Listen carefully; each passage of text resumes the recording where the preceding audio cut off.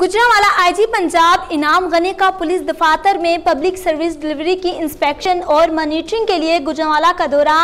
آئی جی پنجاب نے دورے کا آغاز یادگار شہداء پر اسلامی سے کیا۔ پھولوں کی چادر چڑھائی شہداء کے سال ثواب کے لیے فاتحہ خوانی کی۔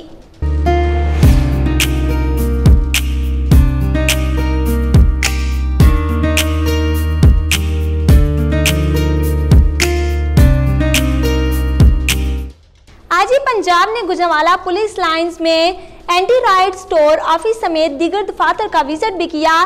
سی پی او آفس گجنوالا میں آئی جی پنجاب نے شہدائے پولیس کی فیملی سے ملاقات کی اور ان سے مسائل کے بارے میں دریافت کیا۔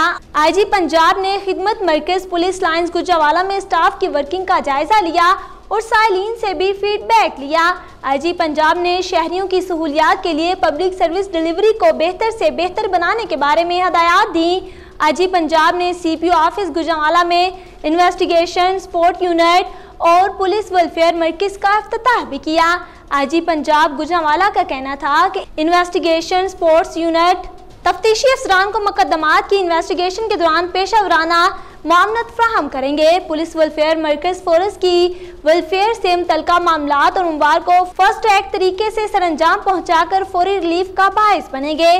آر پی آفس گجرانوالا میں آئی جی پنجاب نے ویڈیو لنک اجلاس کی صدارت کے دوران ریجن کے سپروائزری افسران کو احکامات دیے۔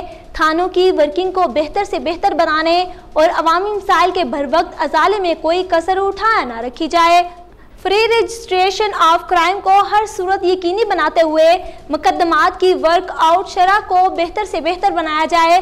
خواتین اور بچوں سے متعلقہ جرائم کے مقدمات کے اندراج اور تفتیش میں کسی قسم کی غفلت برداشت نہیں کی جائے گی۔ دوران ڈیوٹی شہریوں کے ساتھ خوش اخلاقی سے پیش آتے ہوئے ان کے مسائل کے ازالے کے لیے صدقہ دل سے کافشے کی جائیں۔